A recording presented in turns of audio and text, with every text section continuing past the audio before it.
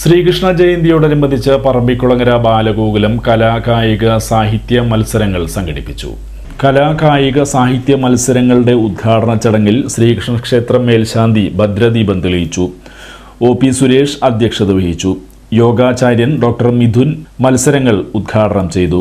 തന്ത്രി നന്ദകുമാർ മുല്ലങ്ങത്ത് അനുഗ്രഹ പ്രഭാഷണം നടത്തി. നഗരസഭാ പ്രതിപക്ഷ നേതാവ് T S Sajeevan councillor Ramadevi ആഘോഷ പ്രമുഖ് ഒ എ അനുരഞ്ജ് കോശാധ്യക്ഷൻ ഒ എസ് വൈഷ്ണവ് എന്നിവർ സംസാരിച്ചു.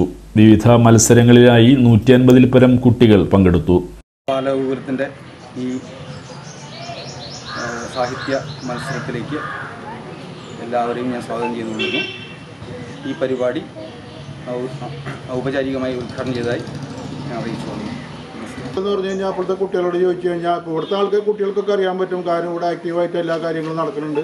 ഞങ്ങളുടെ നാട്ടിൽ ബാലഗോകുലം എന്താണെന്ന് വെച്ച് കഴിഞ്ഞാൽ കുട്ടികൾക്ക് ഒരു പിടുത്തവും കിട്ടില്ല കാരണം അതിന്റെ മുമ്പോട്ടുള്ള പ്രയാണങ്ങൾ അല്ലെങ്കിൽ പ്രവർത്തനങ്ങൾ അത്രയും മോശമായിട്ടൊരു അവസ്ഥയിലേക്കാണ് നമ്മൾ പോയിക്കൊണ്ടിരിക്കുന്നത് ധർമ്മോ രക്ഷത രക്ഷിത എന്നല്ലേ നമ്മൾ പറയുക ധർമ്മം നമ്മൾ മുറുകെ പിടിച്ചു കഴിഞ്ഞാൽ ആ ധർമ്മം നമ്മൾ രക്ഷിക്കുമെന്നാണ് പറയുന്നത് അപ്പോൾ ഈ പ്രദേശത്താണ് ഈ കുട്ടികളോട് എനിക്ക് പ്രത്യേകിച്ച് പറയാനുള്ളത്. ഇതൊരു ഈ ഇത്രയും ഈ ഭാഗത്ത് നടക്കണ പോലെ ഒരു സ്ഥലത്തും ഞാൻ നേരത്തെ പറഞ്ഞ പോലെ നടക്കുന്നില്ല ഞാൻ എനിക്ക് തോന്നുന്നത് തൃശ്ശൂർ ജില്ലയിൽ തന്നെ ഇങ്ങനത്തെ ഒരു സംവിധാനം ഉണ്ടോ എന്ന് എനിക്ക് സംശയമുണ്ട്. കൊടുങ്ങൂർ താലൂക്കിൽ ഒട്ടുമില്ല എന്ന് വേണമെങ്കിൽ പറയാം.